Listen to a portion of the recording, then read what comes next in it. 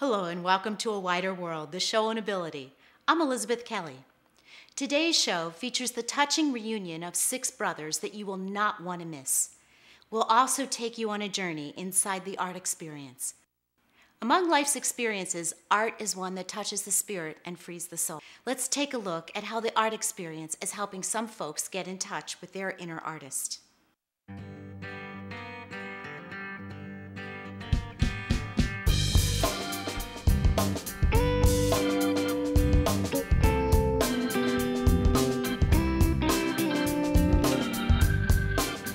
And the whole idea of the art experience is that uh, art is something that you have as a birthright.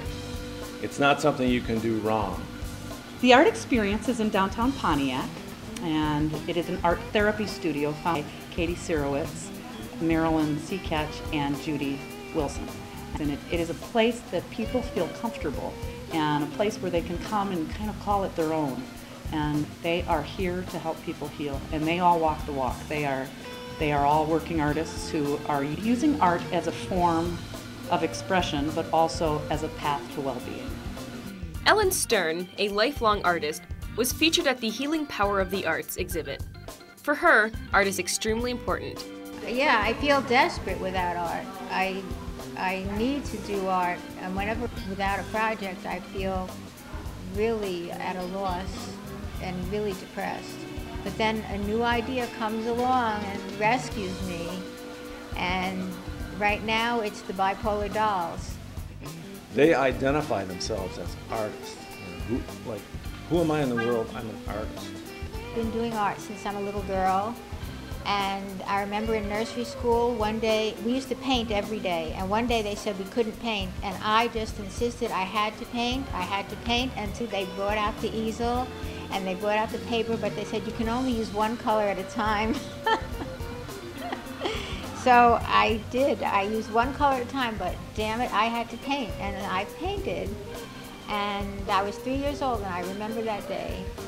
Everyone has the ability to make art, but so many people will say to you, oh, I can't even draw a straight line. Well, personally, I can't draw a straight line either because I have a tremor that I call secondary Parkinsonism that I get medication. So being able to draw a straight line has nothing to do with being an artist.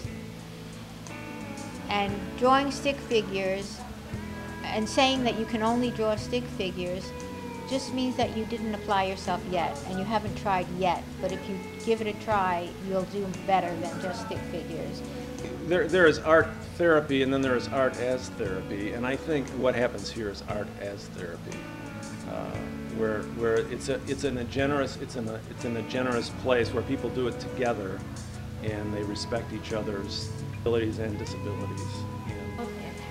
I have seen people come to BSA Arts and to the art experience who couldn't even speak.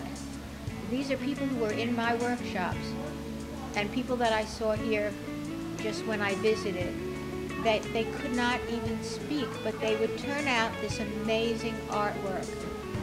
And how important is that for someone who can't express themselves except by creating something visually I can only imagine, I can't imagine what it's like to not be able to speak or express yourself in words, but to be able to do such amazing work. For Ellen, art is not only a pastime, but a means to self reflect. Ellen created a self portrait where she admits and accepts past struggles in her life. The one in the corner, made out of shells, is the depressed Ellen. I wanted it to be ugly because I felt like I'm not allowed to make a pretty part of myself until I make the ugly part, until I admit the ugly part.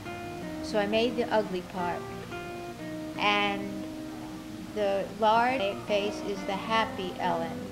And the little painting is the embarrassed Ellen that is embarrassed about the manic and embarrassed about the depressed and now I've come to a balance. I can accept all three parts, and I don't feel ashamed anymore of because it's in the past. Past and this is in the past, and now It's a whole Ellen. The art experience encourages its artists to relax and try new things. From my own experience, it is actually allowing myself to take a journey where it's okay to, to take risks. It's okay to, to try new things. It's, it's, it's okay. Whatever I'm doing is, is okay. It's an adventure and it's playful. It's a playful thing. It's not an exacting, dangerous, uh, strict thing. Uh, I mean, I mean, this freedom. This is the freedom, and it starts from the inside out. I wrote a poem called Taking a Chance. Chances are often thoughts of it being the odds of something. There's always a small percent of beating these odds. The only way to discover the unknown is to give it a try. Chance that I decided to take changed my life. I thought I knew the limits of what my strengths and capabilities were until I gave myself a chance and new ideas. I I'm really glad I took the chance to know the art experience. It makes me feel fantastic because I know that people love them and I know that I love and I can make them any way I want. Feeding the soul is about the best thing we can do, and art does that all day long. So. Well, that's our show for today. Thanks for watching A Wider World, the show in ability. Let us know what is going on in your corner of the world at access at awiderworld.com. A Wider World is also on Facebook, and we would love to have you as one of our Facebook friends. You can watch your favorite stories from A Wider World online at youtube.com forward slash A Wider World. And don't forget to support your PBS station. See you next week.